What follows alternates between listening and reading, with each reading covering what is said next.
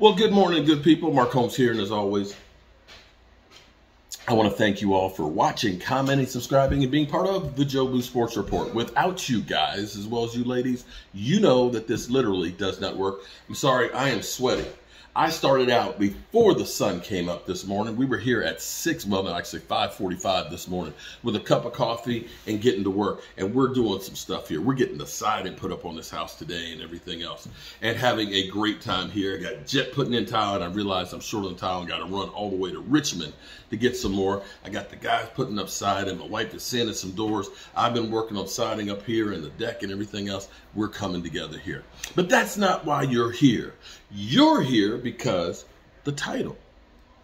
The Dallas Cowboys. Here's, boom, I, I just had an epiphany. Epiphany, I think it's epiphany.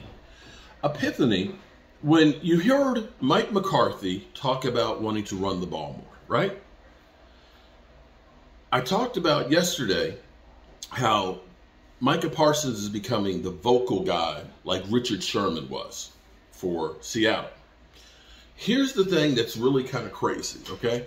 I, whenever before, now I guess maybe it won't be so bad now because Russell Wilson had such a bad year. But when I used to talk about Dak Prescott statistics versus Russell Wilson, people go crazy. They say, "How dare you talk about Dak Prescott and Russell Wilson? That, that, he's a Super Bowl champion. He's a Super Bowl champion." Okay, but here's the thing. I say he had a dominating defense, right? He had beast mode who had over 1,300 yards. They had a formula that worked. Because here's how, how crazy it is for all those that say, well, Russell Wilson's a Super Bowl champion. You can't talk about garbage ass Dak Prescott. Here's what's crazy. The Super Bowl winning Seattle Seahawks were 31st in passing attempts. 31st. Did your mind just blow up? Russell Wilson only had 22 touchdown passes. They were number one at scoring defense. Number one, damn baby, you looking good. Number one at yardage. And number one at taking the football away. Here's the other part on here. And this is why Mike McCarthy is saying, I want to run the damn ball. They were fourth in the amount of rushing attempts. So here you go. When they passed, they were effective. They had a defense that shut people down. Remember what they did to Peyton Manning in the Super Bowl?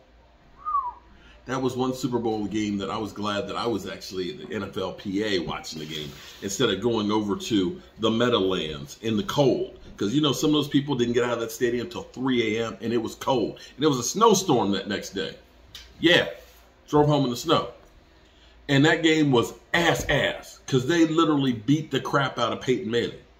And that's where we got the famous Dan Quinn interview that I always love to, to quote when he says, We're fast and we're physical.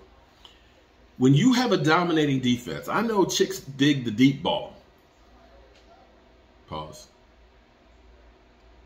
Chicks dig the deep ball. But as they say, defenses win championships. That's the truth.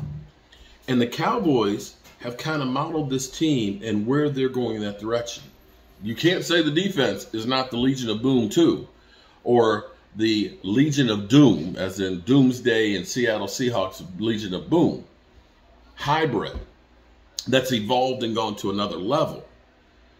We've already been number one at taking the football away two years in a row because of the way they go after people. Number one, two years in a row. And now they're doing things to get better at stopping the run. So now you start looking at this and saying, you got playmakers, much like we did back in the 90s with Michael Irvin and Alvin Harper and Jay Novacek and Emmitt Smith. We don't have Emmitt Smith on the roster, although we have a very dynamic Tony Pollard.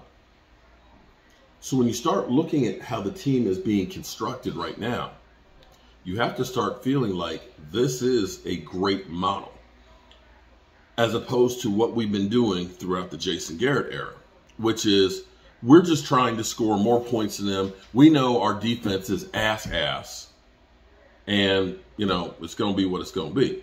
No, now they're looking at the situation and saying, we're going to stop the other guys and take the football away. We're going to knock their block off. We're going to tell them that we knocked their block off. And then we're going to get them up. We're going to do it again. They're going to be aggressive, fast, physical. Triangle. You mean the square? Okay. I'm sorry. So just just was like looking for the, the frame of square. Okay.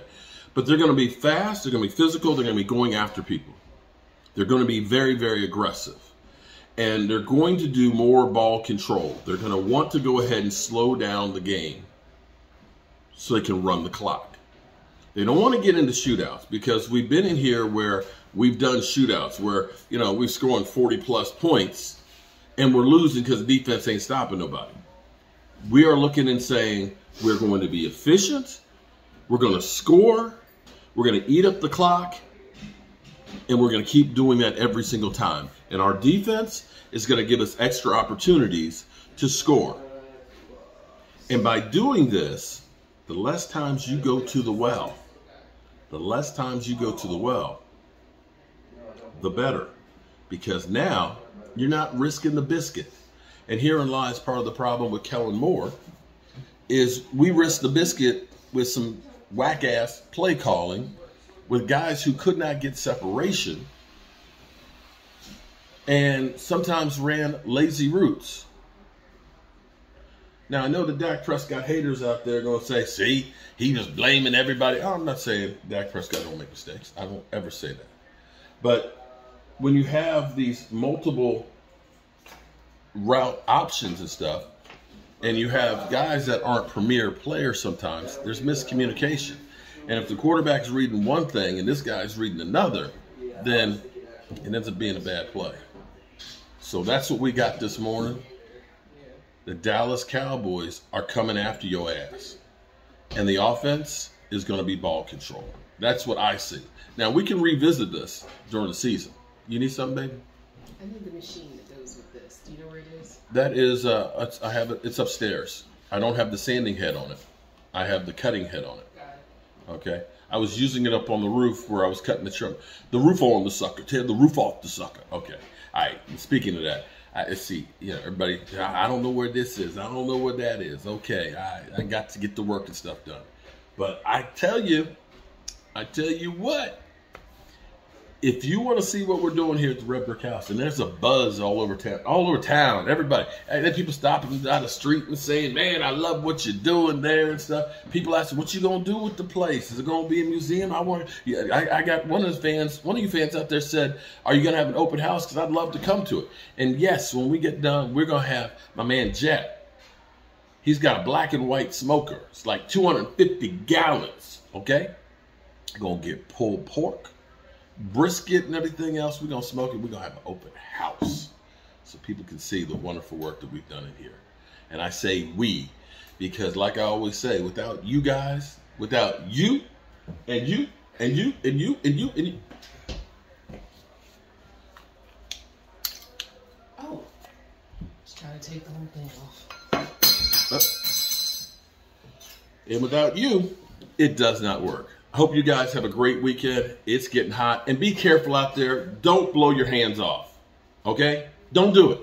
Don't do it. JPP. Peace.